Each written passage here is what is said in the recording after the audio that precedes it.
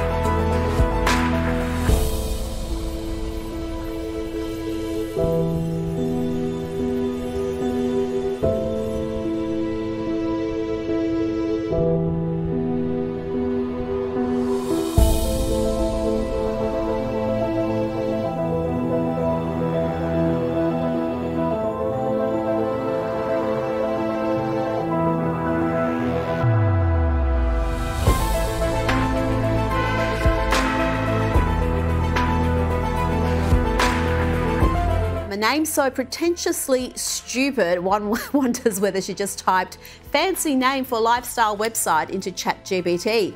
She launched the site alongside a soft glamour video showing her picking flowers and walking around her estate in a big black ball gown, as you do. But since then, Nothing. Crickets. Just a few leaks from trademark applications that suggest this is going to be another celebrity wellness site like Gwyneth Paltrow's Goop or Kourtney Kardashian's Poosh. Royal reporter Kinsey Schofield joins me now. Kinsey, what can we expect from American Riviera Orchard? Is it a I can't think of a more pretentious name, but are we going to have another Kardashian or Gwyneth Paltrow style lifestyle wellness website?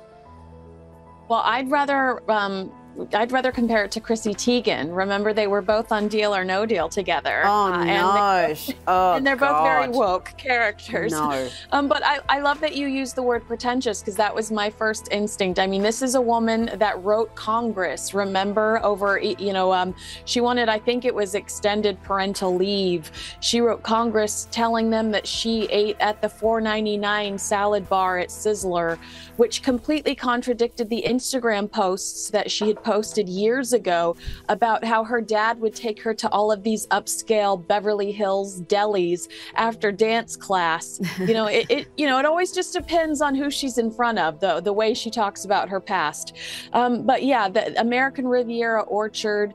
Uh, someone compared the name to a senior living facility. She's definitely trying to, I guess, plant herself, really plant herself in this Santa Barbara community um, which is interesting because she's only lived there four years. It's like being a duchess for only 19 months and insisting people still refer to you as one.